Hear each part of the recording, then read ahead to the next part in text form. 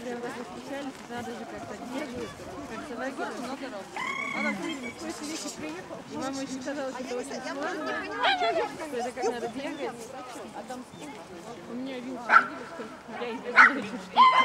На я чувствую. Не, ну все как надо, так открываешь, номера снарядов, Ники, когда вот Ники потом было там полтора года, я предложила Жене заниматься, и тоже родители сказали, что ты что, там что это сложно очень, и что должна быть собака, что Ника не подойдет. Они говорили, что быть какая-то особенная собака, а Ника же у нас просто... Что Ника, может, и не побежит. Мама еще видела, Мама еще тогда видела, как шел носится.